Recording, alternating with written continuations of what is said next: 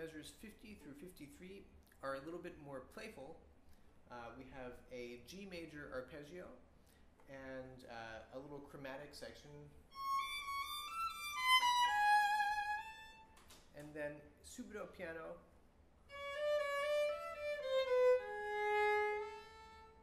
It's basically an echo. I think it's important to show direction to the C sharp in this phrase and also to the G sharp and A sighing gesture.